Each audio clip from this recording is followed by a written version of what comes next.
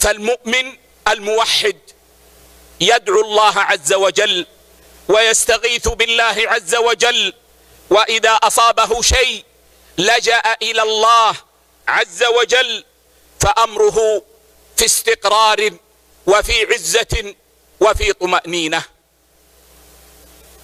التوحيد أعظم أسباب دخول الجنة.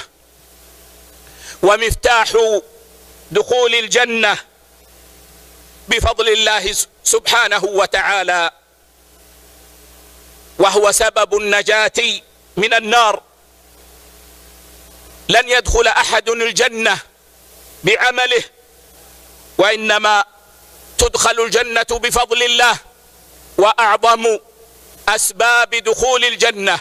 بل مفتاح دخول الجنة هو توحيد الله سبحانه وتعالى.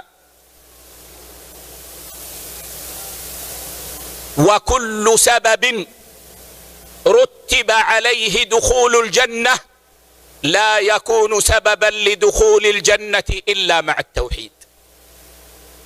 الصلاة سبب لدخول الجنة لكنها لا تكون سببا لدخول الجنة إلا مع التوحيد.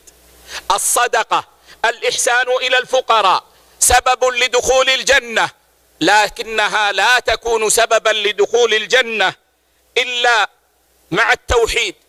من حافظ على السنن الرواتب مثلا موعود بدخول الجنة لكن ذلك لا يكون إلا إذا كان مع التوحيد لأن الشيء إذا خلا من التوحيد لم يكن عبادة لله سبحانه وتعالى.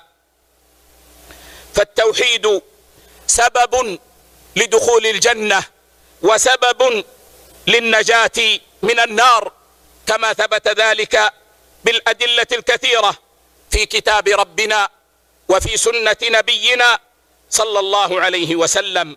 اذا يا عبد الله يجب عليك أن تعلم عظم نعمة التوحيد. يجب عليك أن تحب التوحيد وأهله. إذا ذكر التوحيد يجب أن ينشرح الصدر وأن يفرح المؤمن وأن يسعى لأن يحقق التوحيد وأن يحذر حذرا شديدا من الشرك وأن يدعو إلى التوحيد بحسب استطاعته وأن يصطبر على العمل بالتوحيد وعلى الدعوة إلى التوحيد. فإنه ما دعا أحد إلى التوحيد إلا أوذي.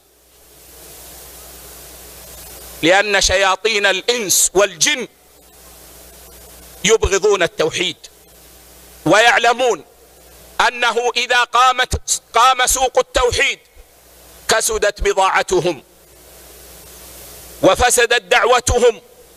ولذلك يحاربون كل من يدعو إلى التوحيد يصطبر على العمل بالتوحيد ويصطبر على الدعوة إلى التوحيد.